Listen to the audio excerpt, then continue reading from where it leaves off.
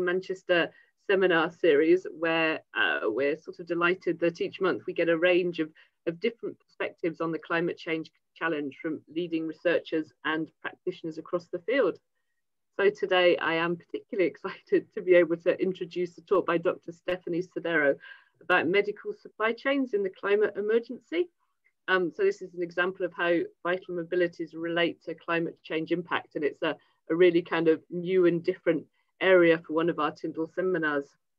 So Stephanie is a lecturer in responses to climate crisis at the Humanitarian and Conflict Response Institute at the University of Manchester. And Stephanie brings together the fields of climate change, mobility and health to research vital mobilities, movements of people, goods and information that impact life chances.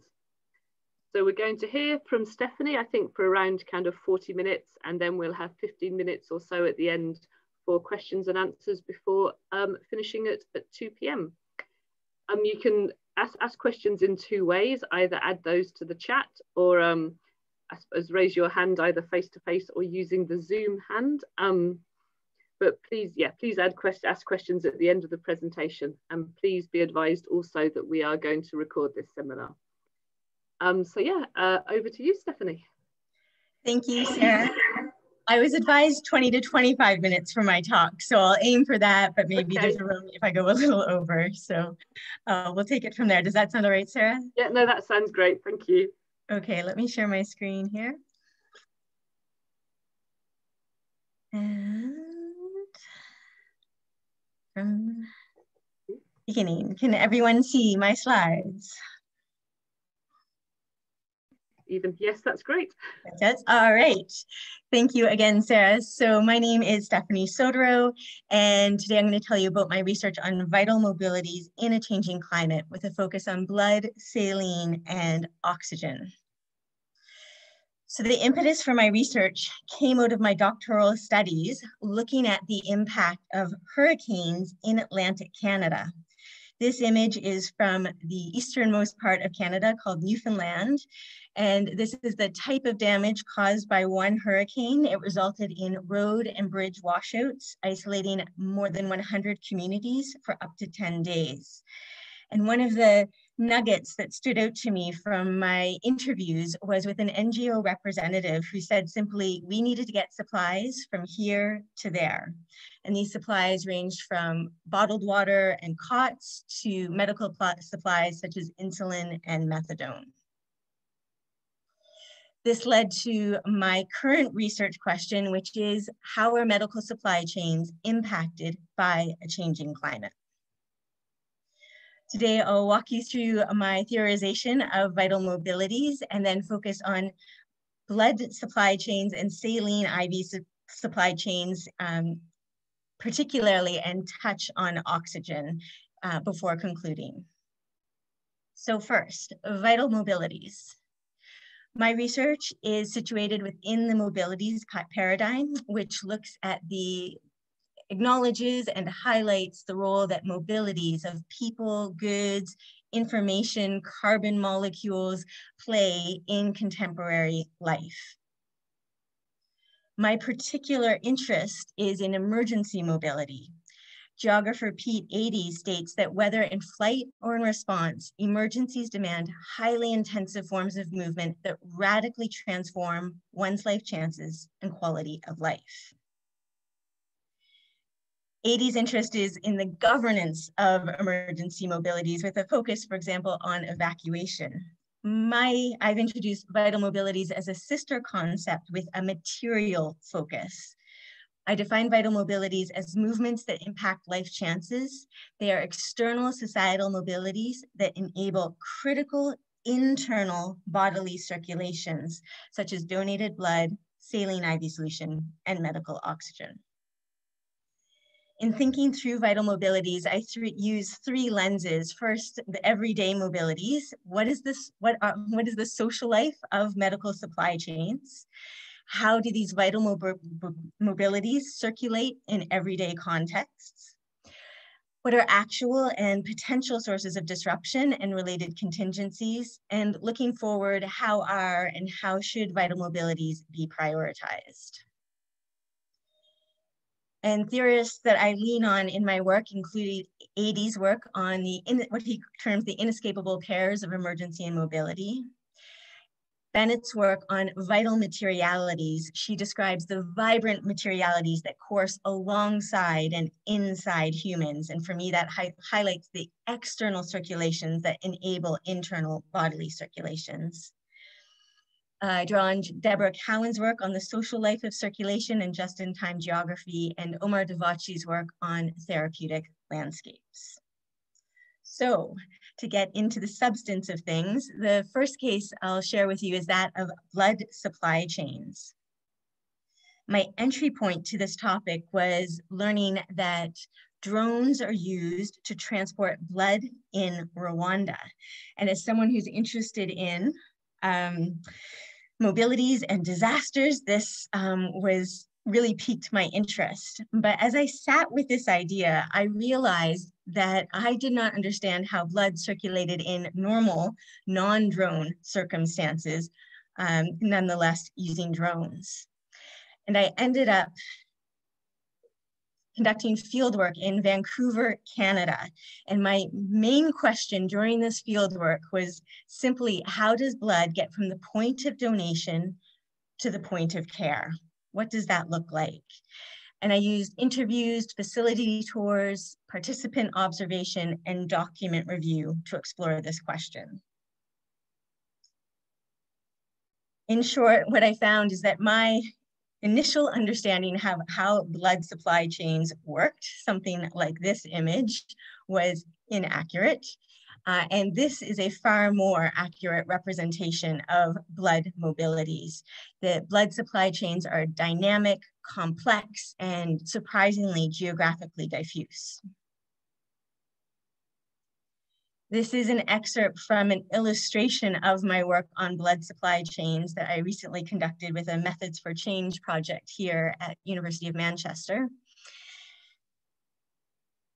And the key point I want to highlight here is the, an example of the mobilities entailed in these blood supply chains. So for example, if you were to donate blood in Vancouver, the Canadian Blood Services takes a bag of your blood and um, three or four test tubes of your blood.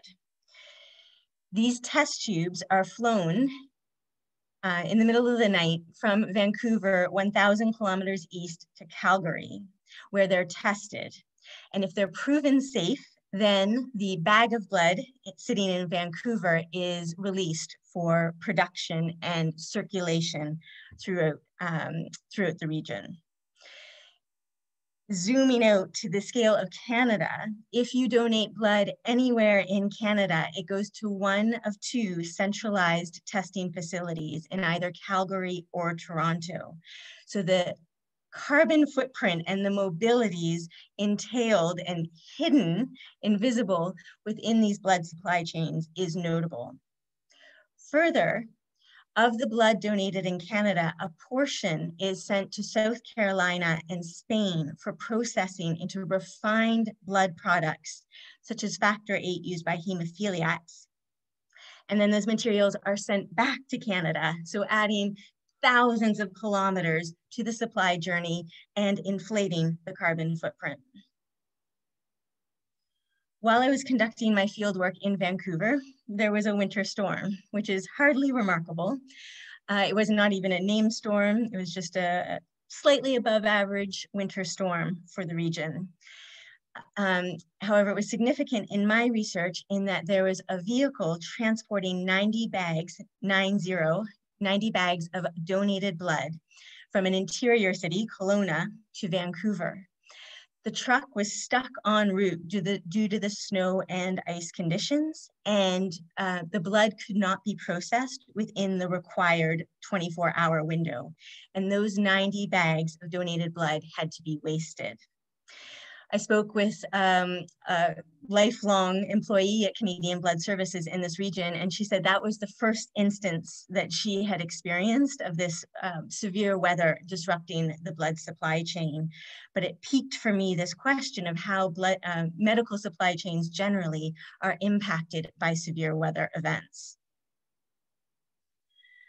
leaving Vancouver and flying over to uh, England, the UK, this is an interior shot of the largest blood processing facility in Europe. It's based in Filton near Bristol. Um, it's if you if of all the blood donated in the UK in England specifically 50% one half is tested or processed at this site so again that centralization uh, and concentration of facilities that we saw in Canada Additionally, it's home, this facility is home to um, several specialist organizations such as the National Cord Blood Bank uh, and the British Bone Marrow Registry.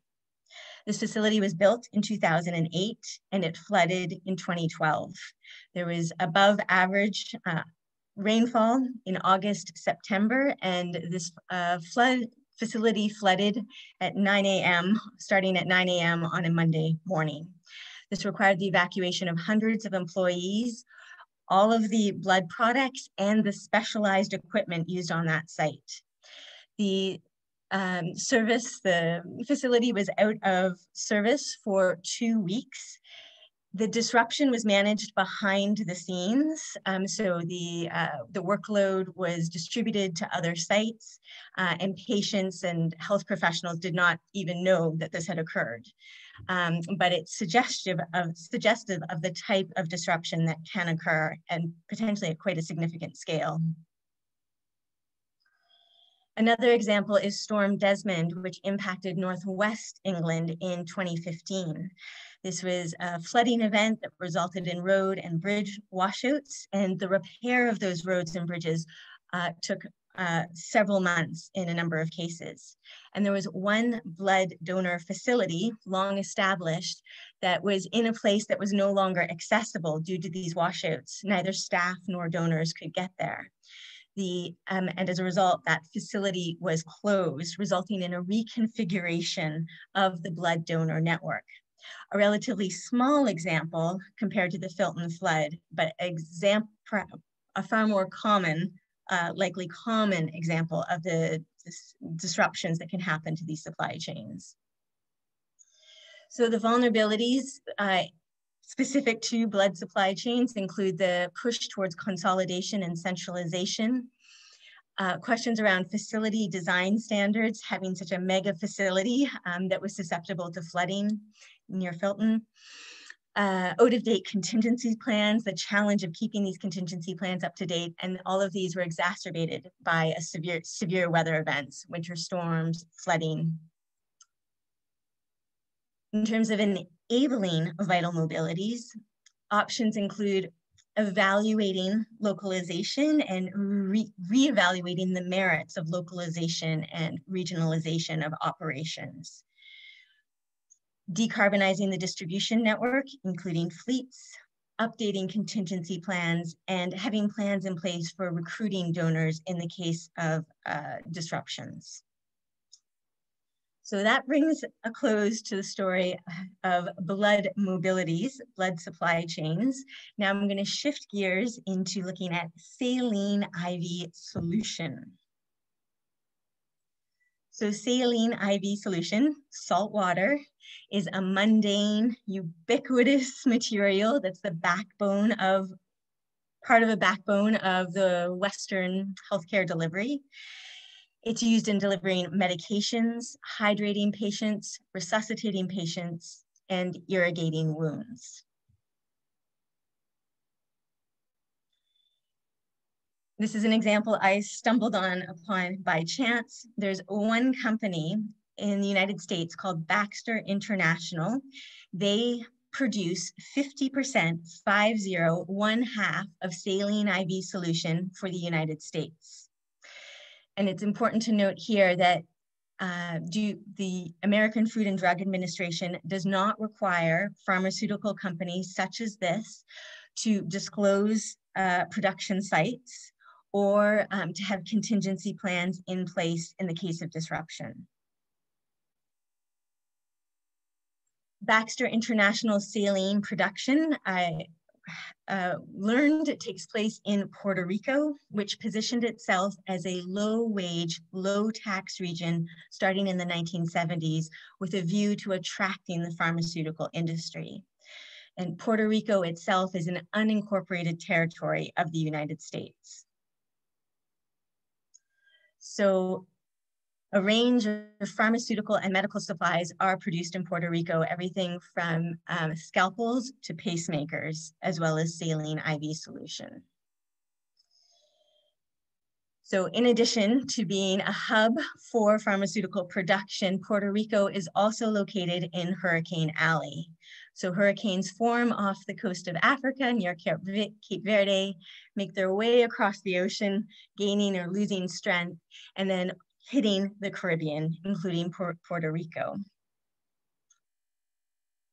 And this was the case with Hurricane Maria, which hit um, Puerto Rico in 2017. It was a category five hurricane. And you can see here the scale of the damage overall, but specifically the pole and wire above ground uh, electrical grid. Here is an image, the bottom image shows the power outages resulting from Hurricane Maria. Um, Puerto Rico imports the vast majority, 98% of its uh, fuel for electricity production, fossil fuels for electricity production. These are imported to one of these islands to the uh, the right. I'm unsure which one. If, there, if there's anyone here with Puerto Rico expertise, I'd love to chat. Um, he, on one of these islands, the um, electricity is produced and then transmitted via subsea cable to the mainland Puerto Rico. This subsea cable was damaged by Hurricane Maria. So both the above ground and subsea electrical grid were uh, destroyed.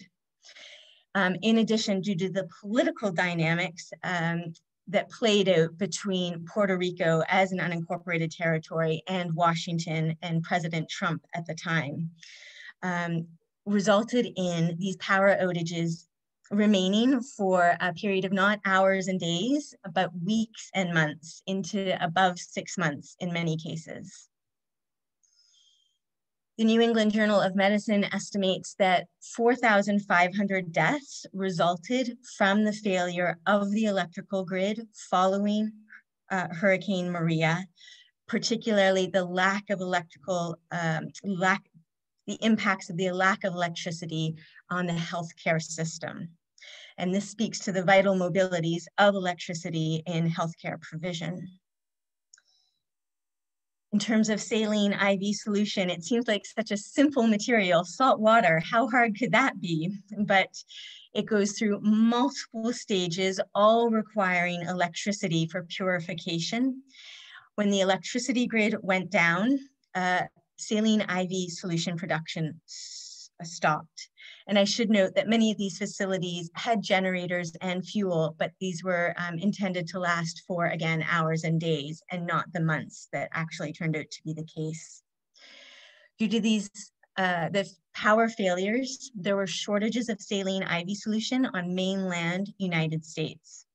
So that healthcare providers were forced with, uh, confronted with conserving saline IV solution supplies.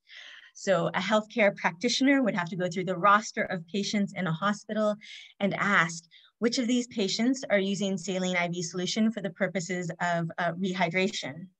Uh, if so, can we move them over and give them Gatorade instead? Or are they receiving the saline IV solution to get medication? If so, can we inject the medication via syringe directly into their IV line? This is more time consuming and requires more skill, um, but was used so often that there was actually downward pressure on syringe supplies as a result. So the vulnerabilities of saline IV solution supply chains are, again, numerous. There's issues re related to monopolies, lack of transparency in the pharmaceutical world, uh, lack of contingency planning. In Puerto Rico specifically, in this case, there's a, a very centralized power grid that's reliant on external imported fuel. Um, the political injustices that Puerto Rico experiences, um, given its liminal political status, and then layer on a category five hurricane and uh, that's a recipe for disaster. The possibilities for enabling vital mobilities in this context include the, the quick and dirty upstream, for example, um, ensuring that all available product is uh, exported before a storm hits, ideally, obviously, ensuring that the local population has the supplies that they need ensuring that there are generators and fuel supplies, but as seen with the case of Hurricane Maria, that's of only limited use um, if the power outages last uh, for months. And then bigger picture changes, such as looking at decentralizing the electricity grid and transitioning to renewable energy. Downstream, at the point of consumption, um, there's a group of, for example, of 11 hospitals in Northeast United States that's looking at banding together and producing their own basic supply of medications so that they are not vulnerable to these external disruptions. Um, and another example is following Hurricane Katrina, an, an app was created called Healthcare Ready, which is real-time guidance on which healthcare centers and pharmacies are available at a given time. Um, and this has been particularly during COVID and vaccinations. Then moving on to oxygen. So my interest in oxygen was spurred by both the events of last year, both uh, COVID and Black Lives Matter. And I'm interested in the social life of oxygen uh, generally and specifically medical oxygen. How does this circulate? And I'm at the beginning of even identifying how these supply chains work, um, but they have many commonalities with both blood and saline IV solution supply chains. For example, um, and so I'm thinking, I suspect that the, there are going to be examples of where um, cases where severe weather events have disrupted oxygen distribution. So an overview of what I've learned about how medical oxygen um, moves. And again, this is another supply chain that I had taken completely for granted. I thought it magically appeared at hospitals. Um, so in resource rich high income contexts, there are trucks of ox oxygen is trucked to hospitals in liquid form. Hospitals have on-site oxygen plants where the liquid oxygen is turned to gaseous oxygen and then distributed through the walls of the hospital via pipes. And each patient bed has an oxygen port. In low income contexts, this looks very different. There's a reliance on um, cylinders of oxygen. One of these cylinders would last an adult COVID patient one day on average, costs about 100 US dollars. And they are extremely cumbersome in and of themselves, but also they are often produced in capital cities. So a, healthcare center has to arrange transport to pick up these cylinders, um, bring them back to the hospital, set them up, take them down when they're used, and return them. Um, and there's fees attached to uh, rental of the, the, the, cylinder itself. Um, there are, again, there's a concentration of uh, oxygen suppliers. So um, in sub-Saharan Africa, my understanding is that there's two major oxygen suppliers, uh, including the British Oxygen Company. And these two companies made each made profits of around $25 billion before COVID in 2019. So there are significant issues with how this medical supply chain um, works um, and the injustices embedded within it. There are numerous alternatives, fortunately. Um, for example, uh, options include using oxygen compressors. That's the unit um, on the floor in this photo, uh, where ambient oxygen is drawn from the air. These um, require energy, um, so they often run on diesel generators, um, which would be um, not only bad for the climate, but also the air quality impacts in an area where people are having respiratory issues. Um, but organizations such as uh, MSF, Médecins Sans Frontières, are experimenting with using renewable energy sources to power these oxygen compressors. There's also been experiments with um, offering non uh, nonprofit production of oxygen um, in Kenya and um, creating on-site oxygen production, such as we experience here in the UK, um, in, in other countries such as Uganda. So I am in the midst of this research, um, uh, but the, for example, the recent shortages in India spark questions about anticipatory action in uh, the shortages in India were experienced in the context of one year into COVID and some some knowns and unknowns around that. And then if you layer on a disruptive event such as a severe weather event how might that intersect with these already difficult uh, uh, scenarios for supply chain provision uh, one oxygen plant manager in india stated essentially dig, dig the well before you're thirsty um, so how can this be applied to vital mobilities of medical supply chains. And finally, moving on, um, looking forward, I'm looking at how to incorporate my work on vital mobilities with a green and just economic transition. What might that intersection look like? How can I address, uh, acknowledge and address the social and racial inequities built into medical supply chains? and exploring the atmospheric anxieties, the ontological shock of uh, medical supplies that we take for granted, such as oxygen, such as saline IV solution, not being available when we expect it to be. And that mirrors an ontological shock of appreciating that we have the capacity to change, alter our, uh, the global climate upon which we rely. And so exploring these anxieties and then can I transform this into something more constructive, um, creating resilience in these vital mobility supply chains. And finally, some projects I'm working on that may be of interest to you or someone you know. Um, so uh, please spread the word. I uh, lead a mobile medical materials working group. We meet monthly and we've looked at materials ranging from breast milk um, to PrEP used in HIV prevention.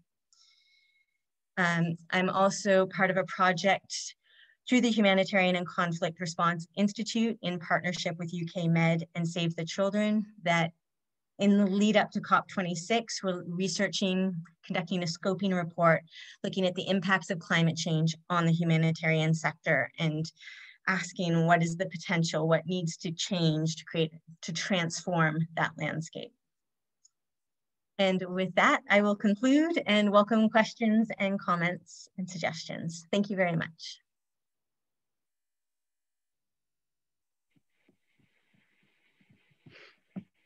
Uh, well, yeah, many thanks, Stephanie. That was, um, yeah, I'm absolutely flabbergasted at some of the the kind of. I think my first reaction is just shock at some of the, you know, the kind of lack of contingency planning and single points of failure and and yeah, all those things. But um, can I uh, open it up to questions from colleagues?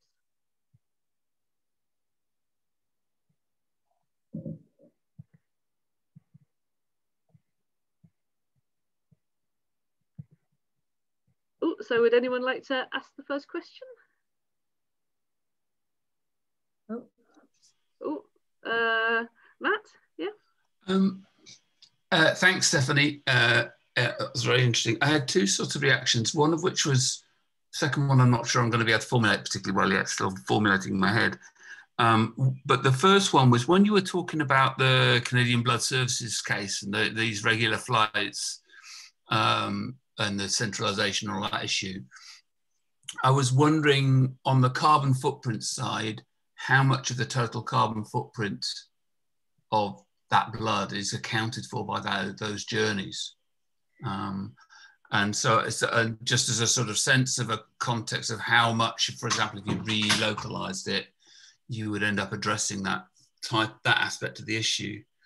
Um, and the, the, the other sort of slightly more inchoate point is that there's quite a common critique of a reasonable chunk of sort of environmental discourse that at the moment, especially in the sort of decolonial frame, of it only we, we only really know we only really start to get worried when when white people from the west suddenly become vulnerable. And i wondered how you reacted to that in relation to the sort of work that you're doing because it seems to me that it's i can see somebody saying that uh, uh, that you get caught in that trap a little bit, or not necessarily you do, but if you like, the problem, the way that we suddenly paid attention to that broad, that type of vulnerability is because it started to affect people in the global north. Uh, and your South African examples are obviously pointing to that that dynamic. So I wondered if you could say a bit more about that. Mm, thanks, Matthew. Those are um, those are great questions. I have not, in short, done a carbon breakdown of, say, a blood donation in Canada, the average blood donation. Um, I'd be interested to see what that would look like. Um, the flights I mentioned, that's just one component. So there's the person traveling to donate the blood. Um, and then the blood is broken, processed and broken down into three component parts, which could, um, one component could stay in the same city as the donation, um, or, or where it's manufactured, but other parts of that com the components of that blood donation could travel hundreds or thousands of kilometers, um, uh, say from uh, south to north British Columbia.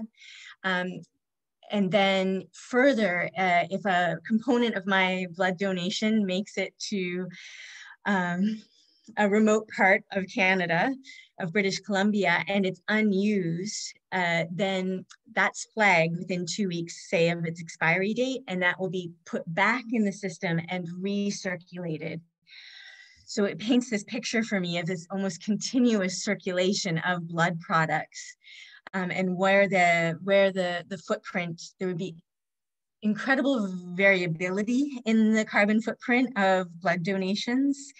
Um, and yeah, it would be interesting to see what the highs and lows of that would look like and also what a middle range would look like.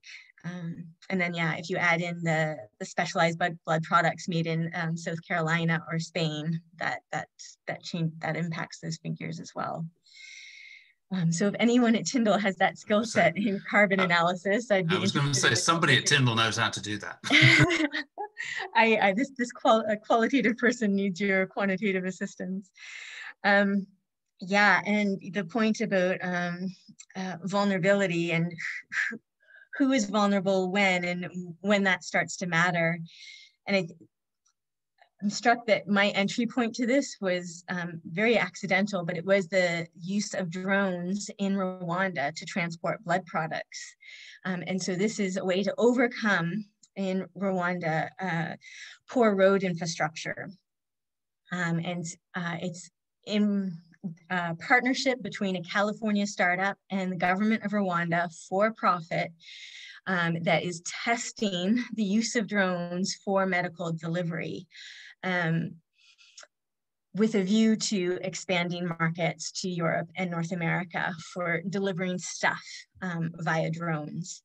Um, so there's a whole range of things there in terms of how that research is being conducted, um, this like um, in situ live experiment with, um, with Rwanda um, in terms of that's framed as supporting their healthcare system um, and decreasing maternal mortality rates. So I think there, my starting point for this uh, research raised some of those questions about inequities and what that would, you know, never be allowed in a Canadian context, this kind of experimentation. Um, and I think COVID has brought to light with personal protective equipment, masks, and other equipment, questions shone light on where supply chains, um, on supply chains, period, that they exist, and also where these goods are produced, who is producing them, um, and um, what are their living conditions, health conditions. Um, so yeah, I think there's a, a big long thread there um, from the point of production to the point of consumption. Yeah, does that answer your question, Matthew? Yeah. Thank you. Thanks for the for provoking my thoughts on that. Could I invite Car Carly? You've put a question in the chat. Could I invite you to? That's it. You sure can. Um, so yeah, hi, thanks for great talk, really interesting. Um, I just wondered if you could reflect on how it's landed with stakeholders, you know, like, are you telling them things about their supply chains that they don't know and vulnerabilities that they don't know? And, and kind of how does that, how does that go down? Is there an enthusiasm to like tackle that? Yeah, um, so I've started with some of that work. So, uh, for example, I um, had conversations with people at Canadian Blood Services, and the climate change layer seemed in my conversation not to be a fully acknowledged or embraced component of the picture, um, which I felt surprised by, but um, perhaps shouldn't have been. So, and how that's going to shift and change.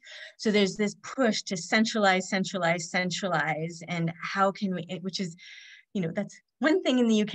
It's another thing in Canada um, with with our winters and. Uh, um, but that that seemed to be the dominant narrative was consolidation and centralization and not um, i didn't see any acknowledgement of climate change and severe weather events is a factor to be incorporated. Um, I did see, I should state, um, in one assessment uh, in Atlantic Canada of uh, centralization, they did consider consider the frequency of severe weather events, but that was within the, the norm of just rough winters in Atlantic Canada, not with a climate change lens. Um, working with the uh, NHS, um, with Richard Rackham, who's a contingency planner for uh, the NHS in blood and transplant services. Um, and again, that seems to be similar um, in that, for example, Brexit forced a conversation about asking where do medical, where does medical equipment come from? How does it get from wherever it's made to the UK and how is that influenced by Brexit?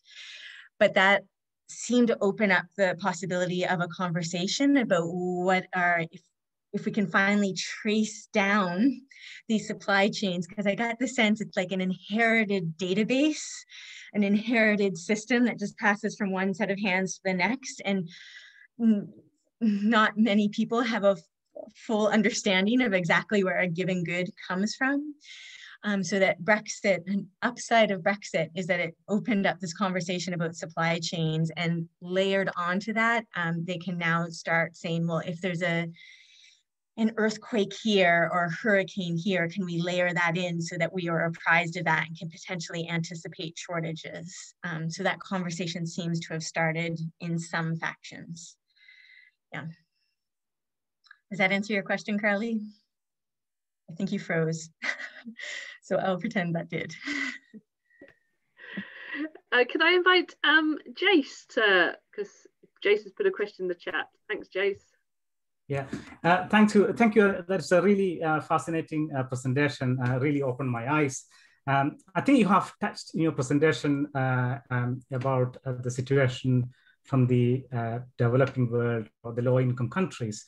I'm really uh, curious about the sort of uh, the NGOs and grassroots organizations, how they are responding uh, uh, under extreme weather conditions, and they're probably have more severe uh, climate impacts compared to uh, in the in the Western world.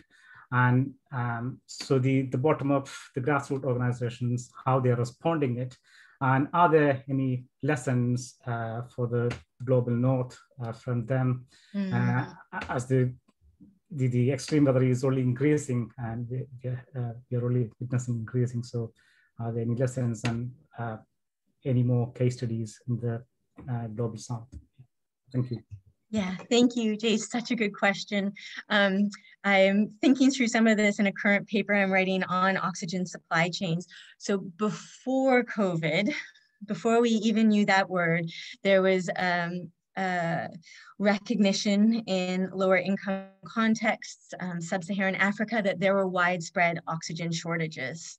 So hospitals, it, it, was an acknowledged issue before COVID that that was an issue.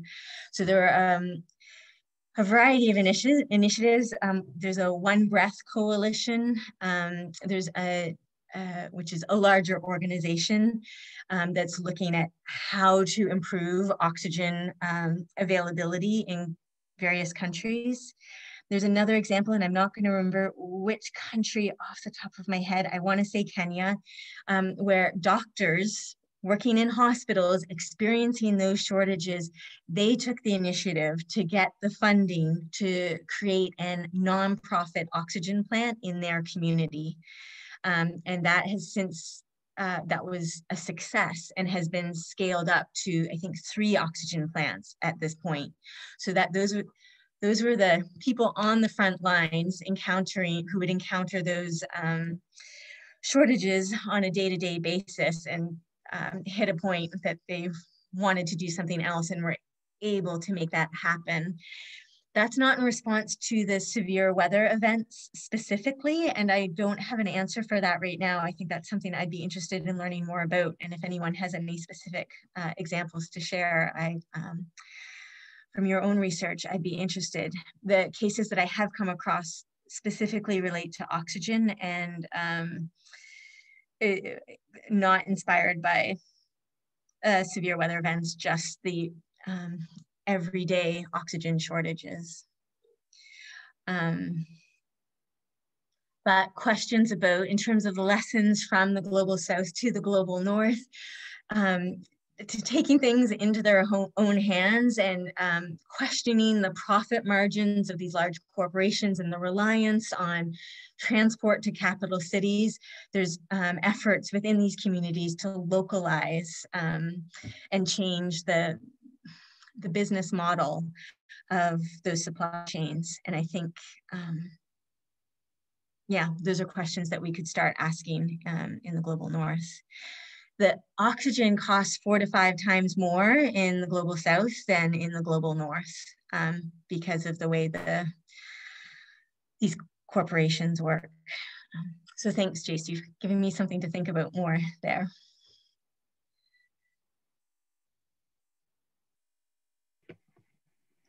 Are there other questions at the moment or can I jump in and ask a question? I'll just, I'll mention I posted um, to uh, the illustration that I've created of my blood research. It's a it's the like a three minute read of my blood research in the chat. Um, so if you need a fantastic in making friends with a cartoon blood drop, this is your chance. I I was wondering how much. So I mean, certainly in for lots of I suppose utilities or companies in the UK, there seems to be a split between um, I suppose business continuity so resilience means business continuity. Resilience doesn't necessarily mean adaptation and planning for things to change in the future. You want to kind of you want to maintain you want to maintain your current function, and you either don't have the mandate, the funding, or the the regulatory pressure to kind of to look forward and think about how say climate change would change things going forward. I, I wondered if that was something that you'd also found in in your research yeah, thank you. Um, so in the flood, flooding of that Filton facility near Bristol, um, the focus was understandably on contingency, making sure that the blood could be collected, processed, and, and um, um shipped to hospitals. Um, and the behind the scenes, what um, the the adaptation, I'm not sure how that facility was adapted um, for flooding events as a result of that. Um, but in that case, contingency was very much about, um, uh, sorry, continuity um, was the, the version of resilience um, uh, being implemented. Ideas about like decentralizing um, leaning away from decentralized um, that's resisted um, because there are efficiencies, economic efficiencies, and also um, practical efficiencies um, that I don't quite have my head around in this centralized uh, approach. Um, so uh, adapting through decentralization, that does not seem to be on the radar. Um, yeah. so I guess my experience from the field affirms your interpretation, Sarah. um, uh, yeah, and how to spark a shift. Um, there's an example of uh, blood bags. This was before COVID, so I'm not sure if this went actually through, but the, the plastic bag, when you donate blood and your blood goes into that plastic bag, that bag was initially produced in Poland and shipped to the UK. But there was um, a plan that was being explored um, that I think would have been motivated by decreasing costs to produce those bags in Tunisia, send them to Poland for assembling, and then transport them to the UK for use. So that to me speaks to something that is very much focused on continuity combined with the bottom line mm. and not carbon footprint um, uh, or adaptation. Yeah. Yeah, no, I, I'd, agree, definitely agree with that. Are there any other further questions from from colleagues?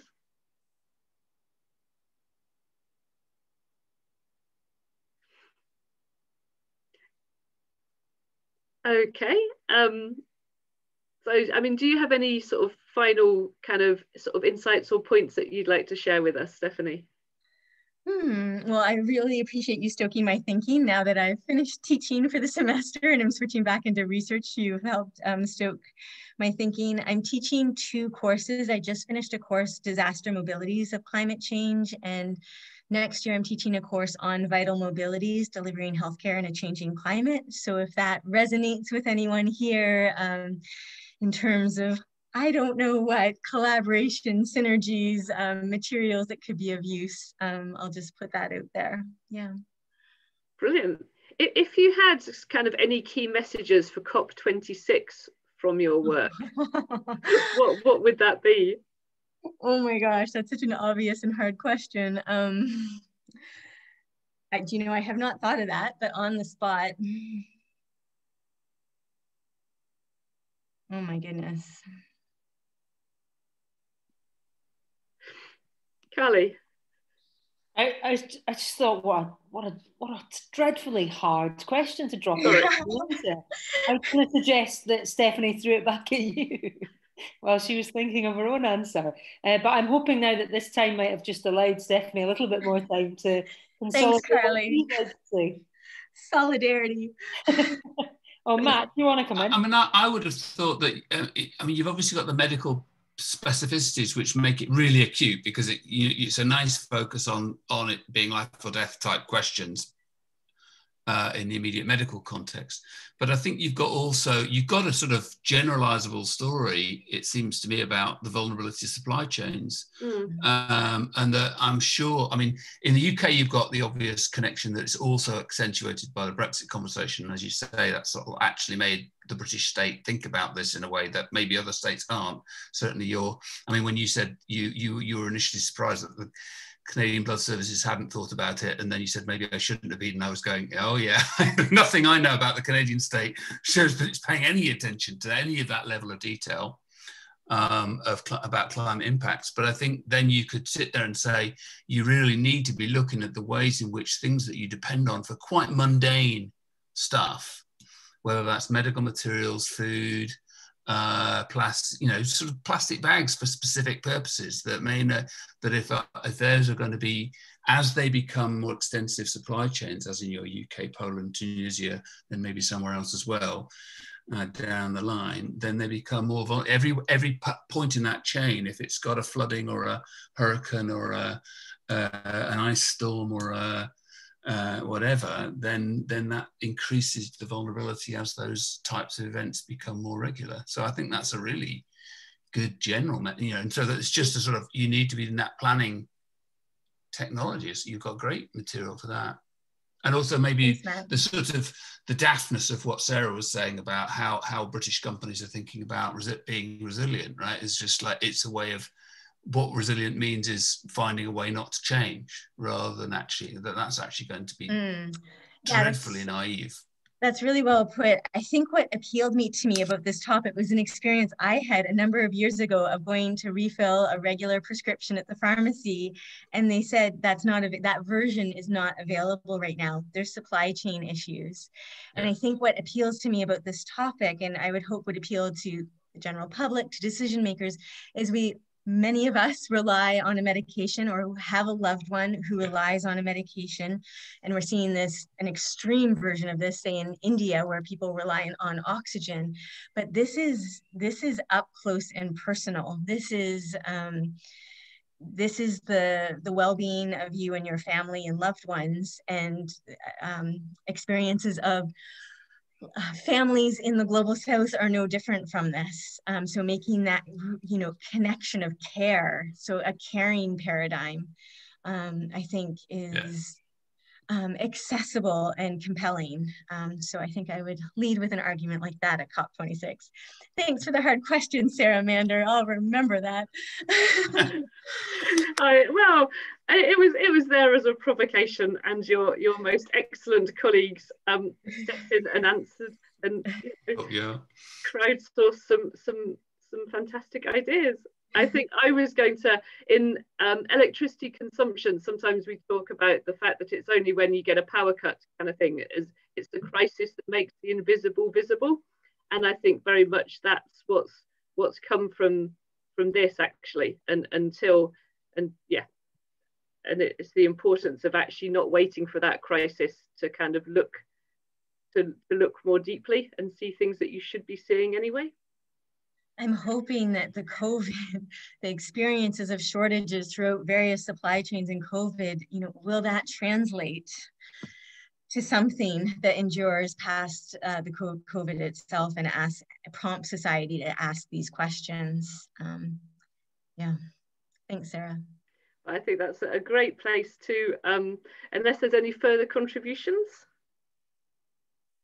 Uh, no, in that case, I would just like to thank everyone for coming. Thank very much, Stephanie, for a, a, kind of a visually amazing and really interesting presentation. It was fantastic. Um, and then just to also, our next Tyndall seminar will be on the 26th of June at the usual time when we will be hearing from um, Henry McGhie speaking about museums and sustainable, sustainable development goals.